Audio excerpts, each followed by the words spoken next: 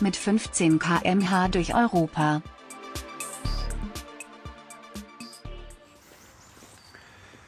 Ich bin hier am Campingplatz in Nantes in Frankreich. Das Zelt ist aufgebaut, ich bin gestern am Abend angereist und habe das Zelt hier aufgebaut auf diesem Platz 72b und habe dann festgestellt, hier gibt es keinen Strom und ich brauche natürlich sehr viel Strom für meine Geräte. Ich war jetzt an der Rezeption und die waren so freundlich und haben mir jetzt einen Zeltplatz zugewiesen, wo es auch Strom gibt. Das heißt, ich werde jetzt hier abbauen und übersiedeln.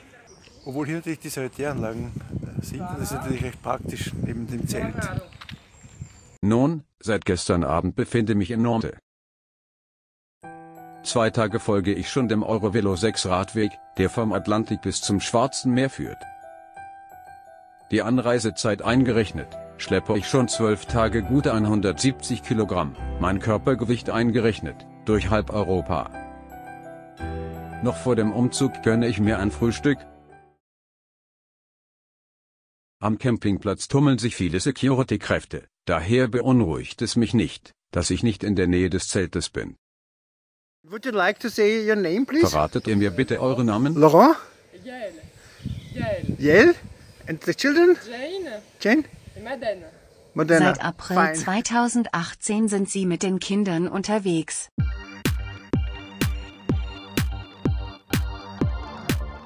Auf der neuen Parzelle gibt es Strom und Wasser. Vor dem Mittagessen wird geduscht und die Wäsche gewaschen.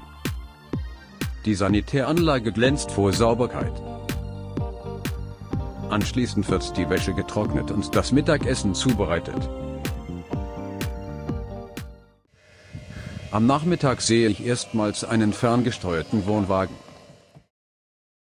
Den Abend gestalte ich mit der Nutzung der sozialen Medien.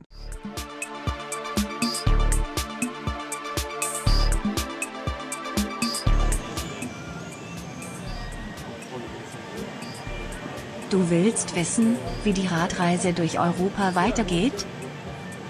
Klick rechts unten auf Abonnement und danach auf die Glocke.